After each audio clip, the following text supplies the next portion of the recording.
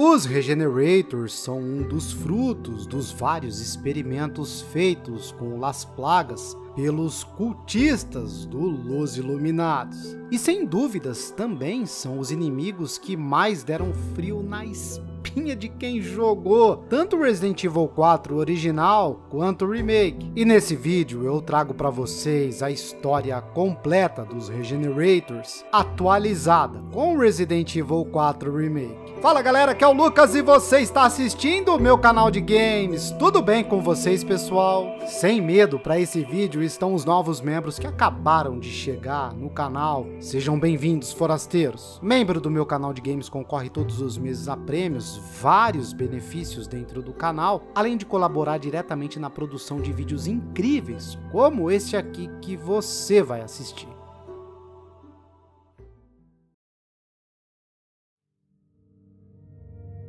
Como o nome mesmo indica, os Regenerators se destacam principalmente por sua pele, que é capaz de se regenerar. Sempre que eles são danificados ou até mesmo desmembrados ou decapitados, eles se regeneram pouco tempo depois. Daí o nome Regenerators. E considerando as plagas como corações dos infectados, eles só morrem quando os parasitas morrem. Os cientistas responsáveis pela criação dos Regenerators alojaram dentro dos corpos deles mais de um parasita, entre dois ou três dentro do corpo de cada um. Sendo assim, para eliminar os Regenerators, primeiro é necessário saber onde o parasita está. Ferir o seu corpo na direção certa para expor o parasita e matar ele antes que a pele da criatura se regenere. Ou seja, é bem mais difícil se matar um Regenerator do que a maioria das outras criaturas do jogo. Ao contrário do original, no remake é possível encontrar um file que retrata o momento exato em que os Regenerators foram criados. Esse file se chama Análise de Indivíduo Regenerator e diz o seguinte: data 9 de abril finalmente criei uma nova vida. Eu a chamo de Regenerator. Sua capacidade metabólica é incrível. A menos que os parasitas que residem dentro do organismo sejam destruídos, seu tecido pode se regenerar indefinitivamente. Data 10 de abril. Ao examinar o corpo com uma mira biosensora, pude confirmar que os parasitas se comportam como órgãos vitais para o hospedeiro, quase como se tivesse vários corações. Minha nova criação é basicamente imortal. Até o próprio Dr. Frankenstein teria vontade de me cumprimentar por esse feito. Data 13 de abril. Compartilhei minha conquista com aquele meu colega pretensioso e arrogante. A cara dele ficou branca. Depois ele começou a escrever algo em seu caderno. Achei que ficaria impressionado, mas ele teve coragem de querer me avisar quais eram os perigos. Como ele é idiota.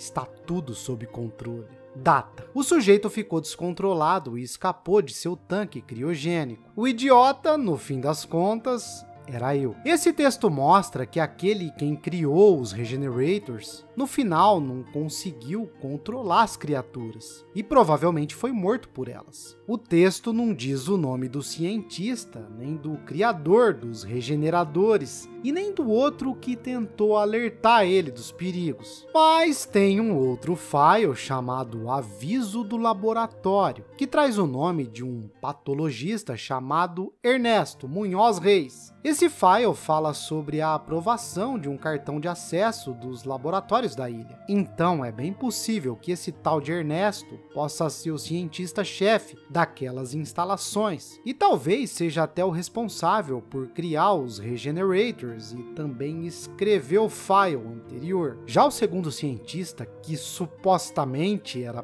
pretensioso e arrogante, podemos supor que seja o Luiz Serra. Isso porque no Resident Evil 4 original existe um file do Luiz onde ele fala sobre os regeneradores. Inclusive é lá que descobrimos o nome dessas criaturas no jogo original. E considerando que o Luiz atuava na ilha quando era cientista do Los Iluminados, é bem capaz de ele ser realmente esse cientista. Algo interessante que também é dito nesse file do jogo original é que as plagas pragas usadas nos Regenerators são plagas que parecem com sanguessugas, o que pode significar que são parasitas alterados geneticamente. Isso nos remete ao Del Lago, que foi uma criatura gerada de experimentos do Las Plagas com salamandras. E o curioso é que tanto salamandras como sanguessugas são animais anfíbios, o que pode indicar que os cientistas aprenderam com os erros cometidos na criação do Del Lago para criar essa nova variante do parasita, que os permitiu criar os Regenerators. Colocando esses parasitas dentro do corpo dos Regenerators, eles se tornam armas quase perfeitas. Isso porque localizar os parasitas e matar eles é bem difícil. A única forma de derrotar um regenerador mais facilmente é encontrando um visor de calor que é capaz de localizar os parasitas dentro do corpo das criaturas, permitindo que o Leon dê um tiro certeiro.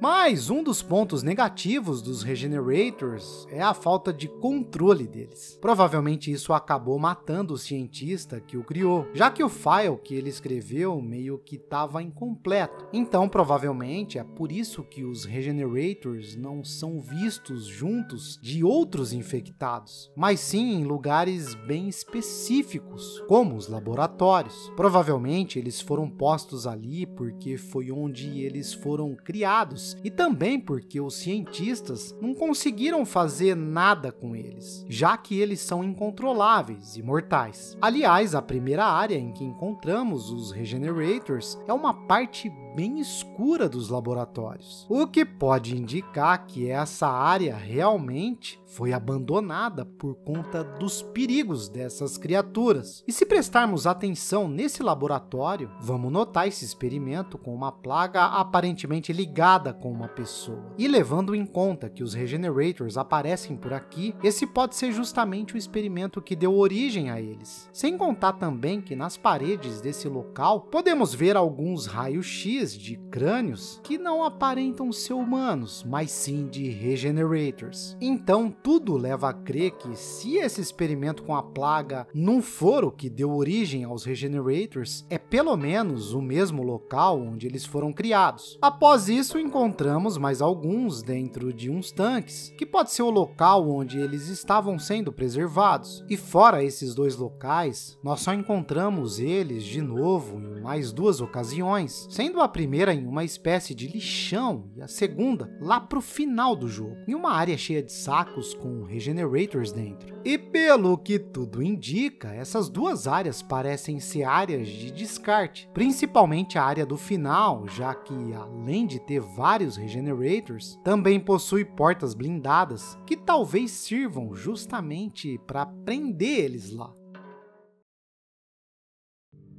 Agora temos que falar sobre os Iron Maidens, já que desde o original ele já era praticamente idêntico ao Regenerator. Mas no caso do remake, a gente literalmente vê os Regenerators se transformando em Iron Maidens na nossa frente. Então eles são basicamente a mesma coisa. No geral, não temos nenhuma informação sobre eles, nem no remake, nem no original. Tudo que dá para saber é que ele é derivado do Regenerator, como eu falei. Quanto ao nome Iron Maiden, ele não é mencionado nos games, nenhum dos dois apenas em materiais à parte que servem para promover o jogo e dar mais detalhes do seu lore e história. Nesses materiais descobrimos que o nome dessas criaturas é Iron Maiden, que significa Dama de Ferro em inglês. E não, não é uma homenagem à banda de rock Iron Maiden. Na verdade, Dama de Ferro é o nome dado a um instrumento de tortura medieval. É basicamente um caixão com espinhos no seu interior onde colocavam pessoas dentro. O nome viria do fato de que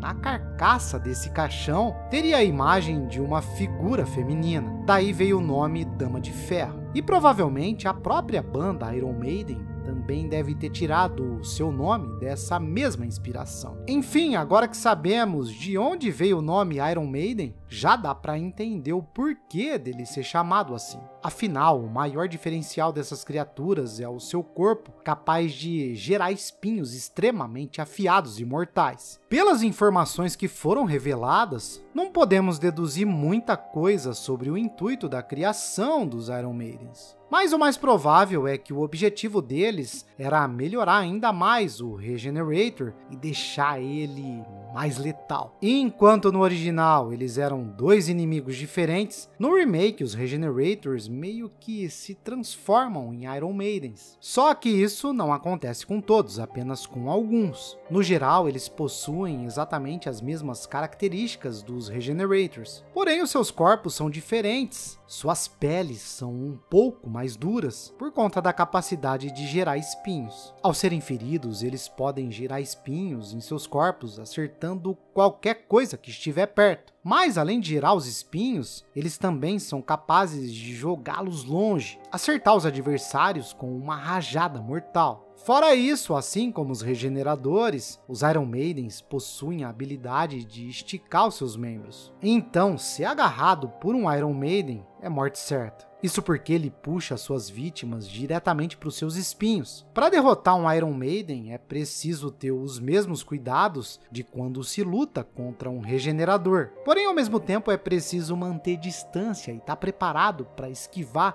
de qualquer ataque do inimigo sejam os membros esticados ou os lançamentos de espinhos. Vale notar também que, por mais que os Iron Maidens tenham sido uma tentativa de aperfeiçoar os regeneradores e melhorar suas falhas, muito provavelmente isso foi uma tentativa fracassada, uma vez que são poucos Iron Maidens encontrados ao longo do jogo. Provavelmente, quem transformou os Regenerators em Iron Maidens não conseguiu resolver a situação da falta de controle, o que tornou essas criaturas ainda mais perigosas. Então a solução foi parar de produzir Iron Maidens e posicionar os poucos que eles criaram em pontos estratégicos, usando eles como uma espécie de armadilha para invasores. O que acaba acontecendo quando Leon surge naquele local. De qualquer forma, os Regenerators e os Iron Maidens com certeza são uma das armas biológicas mais poderosas e perigosas do Los Iluminados. Talvez seja o que eles realmente queriam produzir depois de tantos experimentos. E foi o que mais chegou próximo da perfeição. Mas, no fim das contas, não foi o suficiente.